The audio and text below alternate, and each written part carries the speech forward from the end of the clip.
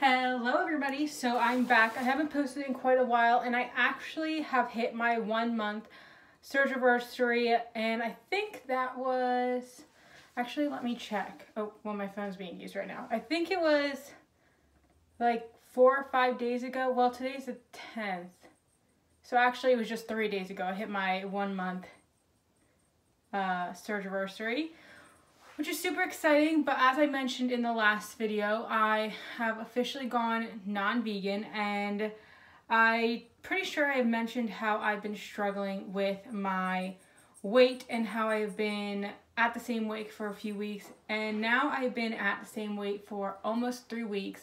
I've talked to my surgeon, I've talked to my doctor. They said there's nothing to worry about as long as I'm not vomiting up food, which I definitely am not, but um, the only thing as of right now is just the, like me being discouraged about it, which is fine. And the worst it's been was a few days ago, I like gained two pounds and I started going to the gym and stuff. So the doctor said I could be gaining muscle, but I'm not sure.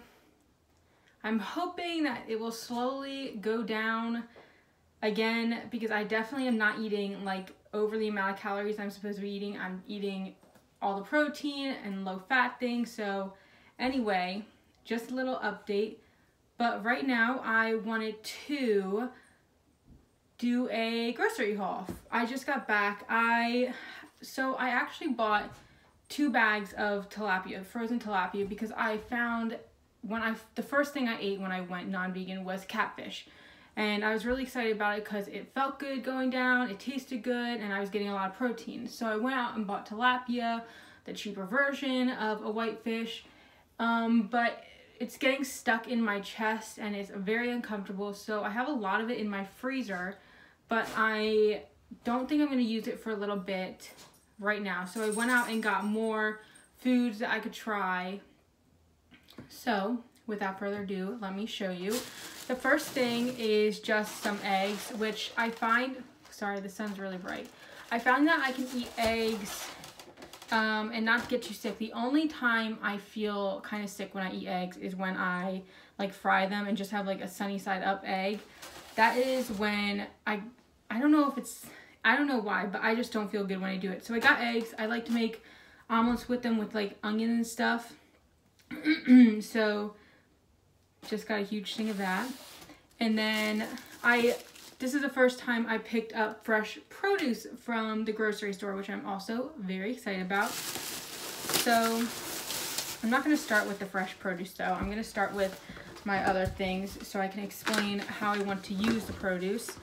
So the first thing I knew I wanted to get, there were two things actually.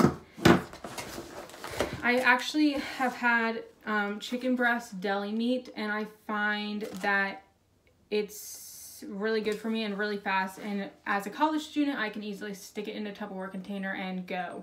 And I just eat like the serving size of this. Usually I used to eat five ounces but this is two ounces. Um, 9 grams of protein 2 grams of carbs and 0.5 grams of fat so this is really good I don't know this brand it's just Kroger brand but I'm hoping it's okay for me because the other one I had was very thinly sliced and this looks a lot thicker than that, but I picked up some chicken. I think it's easy and I think it's good. So that is just a quick lunch. I have it with a slice of cheese and that's basically it. The next thing I knew I needed to go in to get was canned chicken. I didn't have to get canned chicken. I could have gotten frozen chicken and cooked it and made it how I wanted, but this again is just a lot faster. So I got it in water, which I made sure to get. And with this, I want to make chicken salad. I've already made, I've already used canned chicken on this diet. And I made like a buffalo chicken dip that was like low fat and stuff. And that went really good. And I really liked the chicken in it. So that's what I plan to use this for, just a chicken salad. Um, and for the chicken salad, instead of using mayonnaise, I've heard suggestions basically for such a long time about how you can use like low-fat yogurt. So I got this Chobani Savor uh, squeeze, squeezable Greek yogurt, low-fat plain, and this has really good stats in my opinion. It is 0.5 grams of fat, 3 grams of protein, and 1 gram of carbs per 2 tablespoons. So the only ingredient in this is also low-fat milk cultured. So I really like this. I'm hoping I don't mind that it's not sour cream, but again, I have been vegan for over a year and I'm just going off of it. So I doubt I will notice a difference, which is good.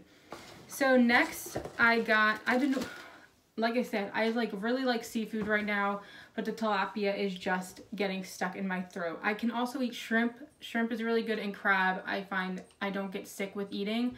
So I wanted to try out salmon. I've had salmon a few times before, but I don't really remember if I was the biggest fan or not. So I got this Gorton's salmon. Um, it's like classic grilled and there's two fillets in here and I got this because it was the cheapest one I could find. Because I didn't want to buy a huge thing of salmon or a fresh thing of salmon and like screw up cooking it and all that stuff.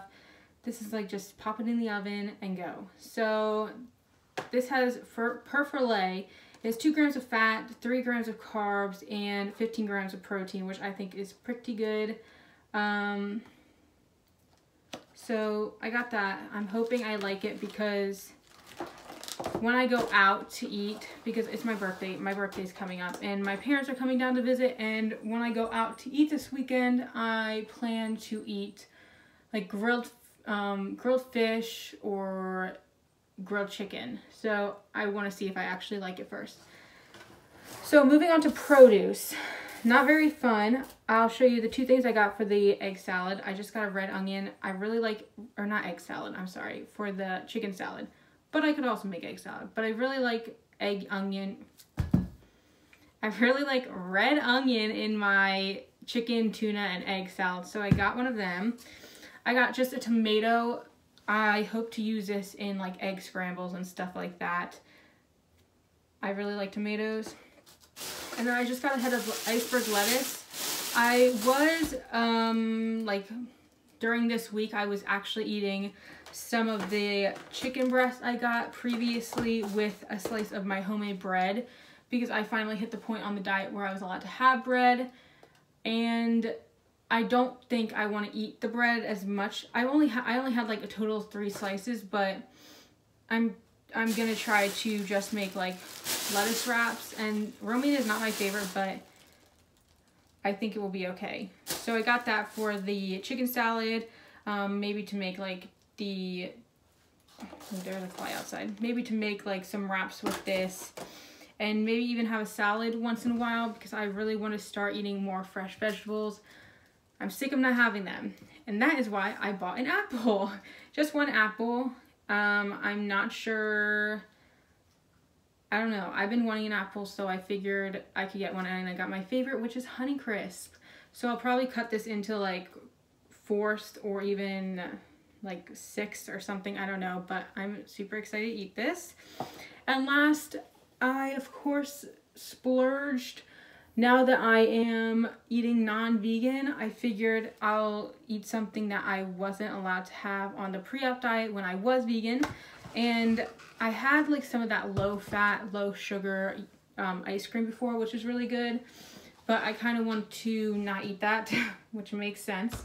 So I found these Jello chocolate vanilla swirl sugar free and I freaking love whole Jello. So I, I picked up one of these. It has a total of 1.5 grams of fat, 10 grams of carbs, 4 grams of sugar alcohols, and 1 gram of protein.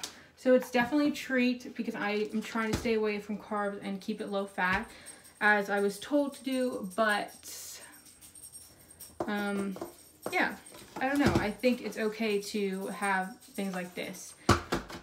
So that's all I got at the food store and I am excited. I hope this stuff works out better. Mainly the chicken salad because and the salmon because I know I like the eggs and stuff already. So anyway, I hope that helped you guys figure out what you could have during your um after your one month anniversary of getting your surgery. And I was also interested in creating a pantry slash fridge tour. And if you guys want to see that, just let me know. It's kind of hard because I live with somebody else and I have a lot of stuff remaining here from when I was vegan and I wasn't on the surgery diet, but I don't know. I was just thinking about it. But anyway, I hope you all have a good day. It's nice and sunny here, so I hope it's nice and sunny there. But I'll talk to you guys later. Bye.